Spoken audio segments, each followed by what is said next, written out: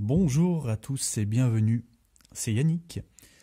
Si vous êtes là, c'est que vous avez envie de connaître quelle est la pensée de sagesse de la semaine que doivent garder les Français à l'esprit afin de bénéficier au mieux de ce laps de temps des sept prochains jours, qui sont donc du 26 octobre au 1er novembre? Quel est le conseil que nous fournissent les cartes? Eh bien, cette semaine, je viens de tirer le miracle et la voyante. Donc vous voyez qu'on est quasiment dans le domaine du surnaturel.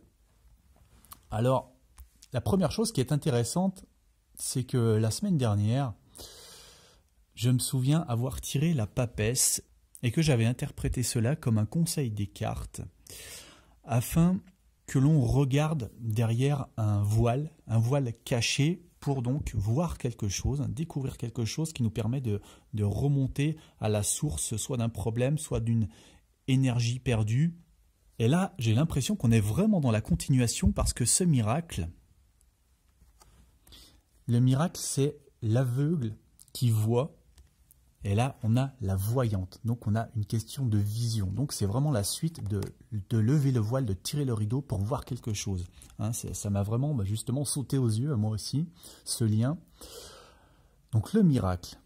Alors déjà, le miracle, c'est croire en l'espoir. C'est ne pas perdre la foi. C'est garder l'espérance pour quelque chose dans votre vie.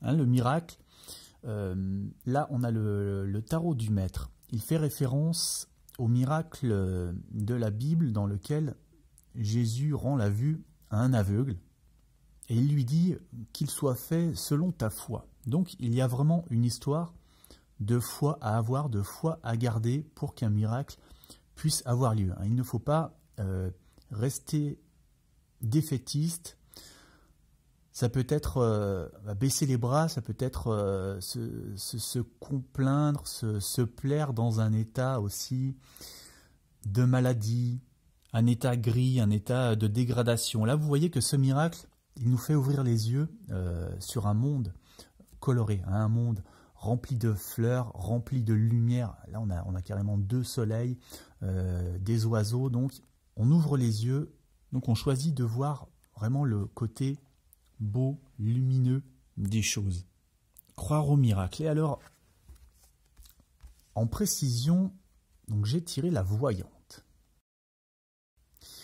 La voyante, elle fait partie des cartes de tête. Donc c'est un, personnage, un personnage incarné. Donc cette voyante, je l'interprète peut-être comme la personne euh, qui est capable de produire ce miracle, hein, d'ouvrir les yeux et de, montrer euh, la vérité à, cette personne-là, puisque vous voyez qu'elle est, euh, elle est devant, devant des gens, elle est un petit peu leur lumière, elle est leur guide, c'est elle qui leur ouvre les yeux sur quelque chose, qui leur montre la voie. Euh, la voyante, c'est celle qui voit clair aussi, c'est celle qui est capable de faire des prédictions. Donc peut-être que pour que croire en ce miracle, euh, il faut faire appel à une, tierce personne qui a, qui a, fait ses preuves euh, par, euh, par la véracité des choses qu'elle a montrées, qu'elle a dites. en plus, vous voyez qu'il y a vraiment le lien, puisque cette voyante, il y a une fleur devant elle, hein, et ce personnage, il est entouré de fleurs également. Donc pour moi, c'est vraiment elle qui est la personne qui permet de, garder la foi hein, euh, pour, pour croire en ce miracle. Voilà, donc après, euh, à vous de faire euh, votre part personnelle de lecture également, à partir de ces éléments de base.